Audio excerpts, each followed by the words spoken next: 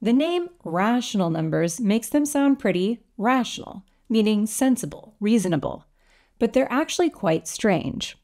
Rational numbers are just whole numbers divided by whole numbers, like 3 quarters or negative 5 ninths or 2. Unlike the irrational numbers, the decimal expansions either terminate, end, or repeat. How many numbers are rational? A lot? A few? It seems like a silly question, but there's more than one answer. It depends on how exactly you ask the question. The rational numbers are both everywhere and nowhere. Rational numbers are basically everywhere. Anywhere you look on the real number line, you can find one. Pick an interval, doesn't matter how small, and there's a rational number somewhere in there. To demonstrate this, let's start by putting down all the rational numbers with a 3 in the denominator. If we make the number in the denominator bigger and bigger, it chops the number line into smaller and smaller pieces. At some point, the numbers are so close that you get inside our tiny interval. So, between any two rational numbers, you can always find another rational number. The technical term is that they are dense in the real numbers. For example, let's write these two rational numbers as decimals. Eventually, the digits differ, and after that, we can modify the digits, or append new ones to create another rational number in between. Of course, there are lots of ways to do this. You can append as many digits as you want, as long as you eventually stop or repeat. And all of these numbers are rational. So there's actually infinitely many rational numbers in the interval. When you imagine zooming in, like with a microscope, you might have this intuition that eventually you're seeing things on the level of units, Eventually, at a close enough scale, there's just one ant in the frame. But when you're looking at the rational numbers within the reals, that's impossible. At every scale, no matter how close, there are infinitely many rational numbers. In that sense, the rational numbers are everywhere, but they're also nowhere, like they're this little dust that takes up no space on the real number line. For starters, I should point out that the rational numbers are countably infinite and the real numbers are uncountably infinite. There are lots of video explanations on this, including one that I made, but here's the bottom line.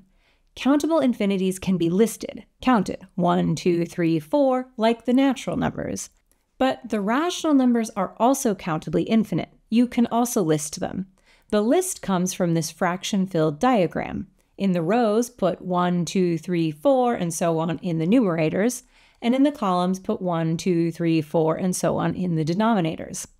To list the rationals, snake your way through the diagram. Here's the first one, second one, third one, and so on. We can skip the repeats. Every rational number shows up eventually. There's no way to list the real numbers. If you try to make a list, here's the first one, second one, third one, and so on, you'll always be missing numbers, lots of numbers. So they are a bigger size of infinity. They are uncountably infinite.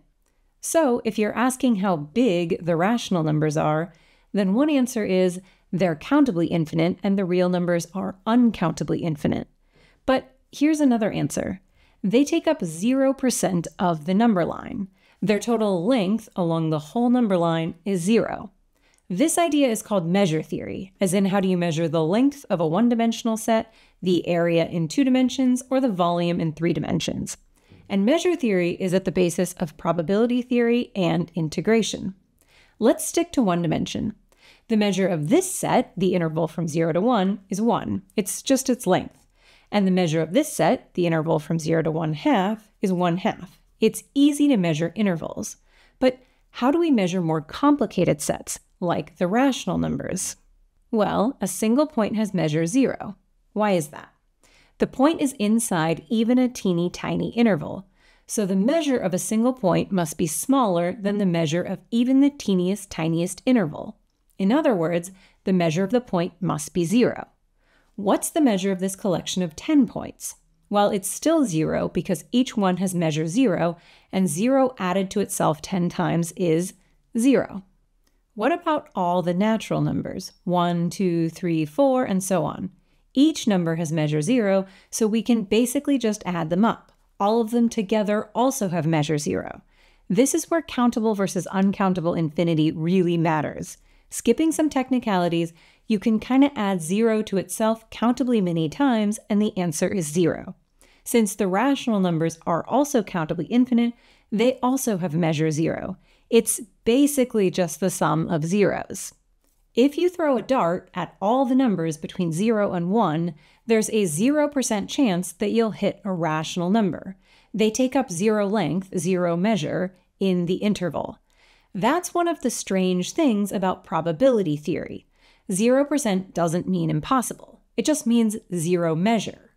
Both the natural numbers and the rational numbers are really small compared to the real numbers. They are countable sets with measure zero. Their total length in the number line is zero. With the natural numbers, that kind of feels okay. They're spaced apart along the number line. But with the rational numbers, that feels much stranger because they're also everywhere.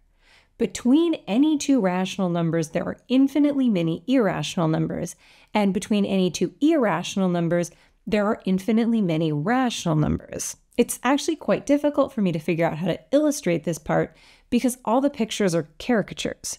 No matter how far you zoom in, the rational numbers and the irrational numbers are interleaved to form the number line. But amazingly, the irrational numbers make up 100% of the number line, and the rational numbers are 0%.